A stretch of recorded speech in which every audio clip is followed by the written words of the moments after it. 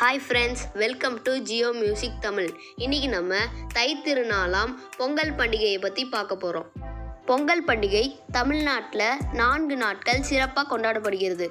முதல் நாள் போகி பண்டிகை. தை மாதத்தை வரவேற்கும் விதமாக மார்கழி மாதம் கடைசி நாள் போகி பண்டிகை கொண்டாடப்படுகிறது. பழையன கழிதலும் புதியன புகுதலும் போகி பண்டிகையின் சிறப்பாகும்.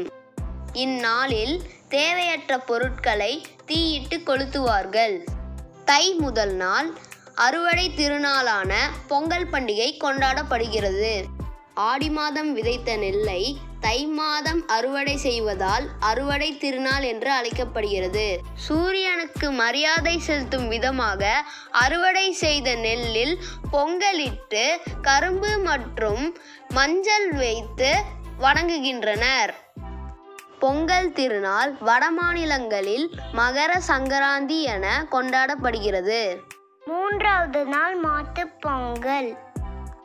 மாடுகளுக்கு நன்றி தெரிவிக்க மாட்டு பொங்கல் கொண்டாடப்படுகிறது. இந்நாளில் மாடுகளின் கொம்புகளுக்கு வண்ணம் பூசி பூஜை செய்து மகிழ்வர். மாட்டுப் பொங்கல் அன்று தமிழ்நாட்டில் ஜல்லிக்கட்டு மற்றும் ஏறு தழுவுதல் நடைபெறும்.